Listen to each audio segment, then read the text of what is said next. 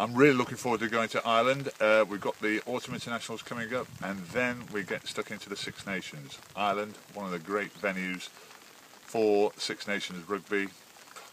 Played my first cap there in 1973.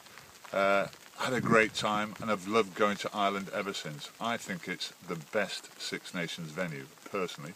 Um, and I hope you'll join me and that we can uh, all get together, enjoy some fantastic rugby uh, in a great rugby atmosphere. Enjoy the crack, because that's what it's all about in Dublin. See you there.